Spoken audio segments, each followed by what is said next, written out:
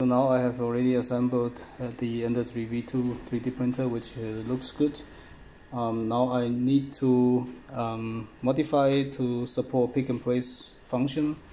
So um, the first thing I will do is uh, disassemble this one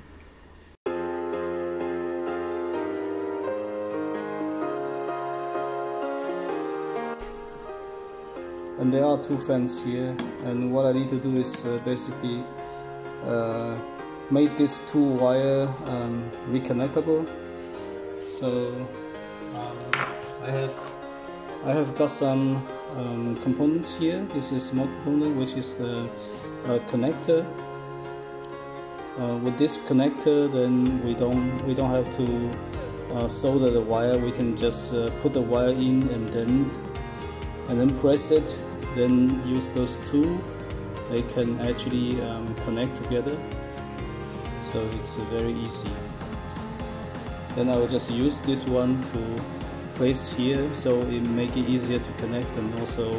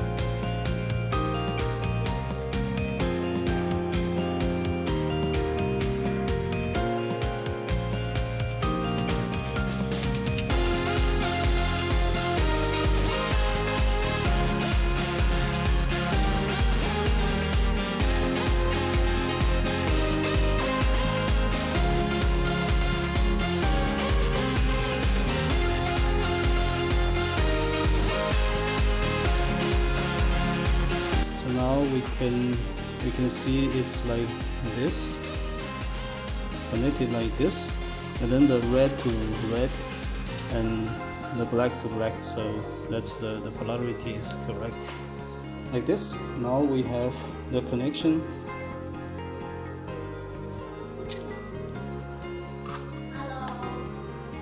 Okay so now now um, the fan is turning. So just now this uh, wire is a little bit too thin so I had to strip out some of them and then uh, plug that in. So it will be it's uh, it's easier. Now it's you can see the fan is actually uh, turning. So if I turn off yep which is good. So I will do the same for this one this wire as well. So when you flip over uh, you can see the yellow is on the same side like this. So yes. Now we are ready with the with the fan case. So basically when when we want to change we can remove we can remove this one. So now I have uh, take off this one. So um, you can see this is um, the socket that I'm using. It's um, nicely taking off here. So next thing is to design the adapter for the Ender 3 V2 um, so you can see it's like this and I also um, designed it the uh, clipping here. So this is to make it very um, stable when um, mounting to the end of the whole end and I also have these two holes here. And then on the other side I also make an arrow to indicate the uh, recommended uh, print direction. Um, but also when I design I keep in mind that I, it can also be printed with the other direction. Um, so you can see this slope there and then when you flip to the other direction you can see um, yeah this this can also be supported because of this shape. And you don't need any support to print this one. So yeah. So now I have print out the 3D model. So you can see um, it's like this. There are two holes and also multiple mounting holes. Uh, you can put screw in here and also on the side you can see this click pin so that uh, it can be fit to the side of the hot end bed and then this one is, I screwed it on top. Then you can actually um, put the nozzle head this one. The nozzle head is still the same. Um, can screw the nozzle head on top. So now I'm gonna mount this one and then turn this uh, Ender 3 V2 into a pick and place machine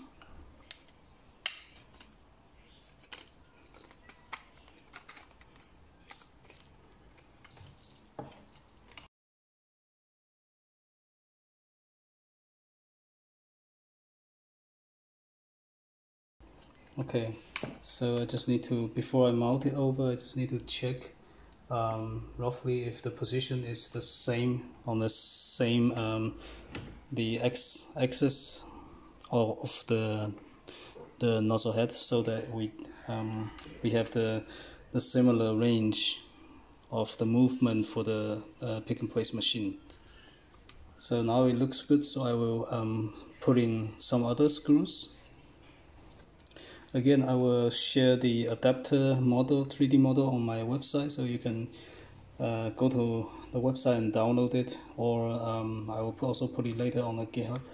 You can also download from there.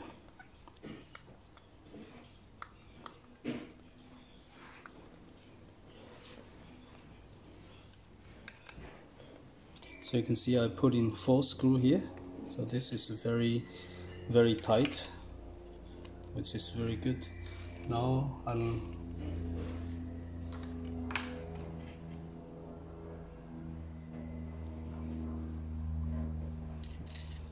okay now I'm gonna mount the, the nozzle head on top of the uh, 3D printer.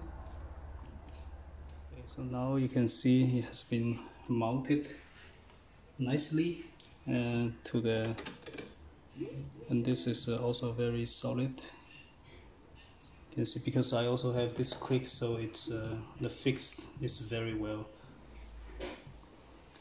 Okay. So now I've mounted the nozzle head to the Ender 3 V2 and you can see there this is this one is the Anycubic Mega SE and this is Ender V2, Ender 3 V2. So this is uh, the same um, nozzle head can be used, and the only difference is then the adapter. Okay, so now I can I made the connector um, for this uh, air pump, and the red one is the positive one, and I also measured here.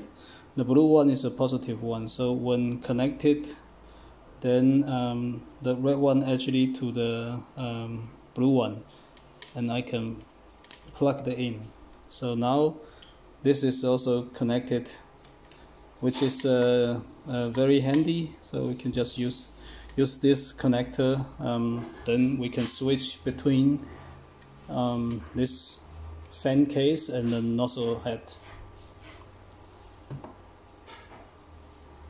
Okay, now so I have already mounted the build plate on top uh, and also um, all the other parts together and you can see now it's uh, already up and running. And the, currently is doing the calibration job. You can see there are two fiducials, one is there, one is here.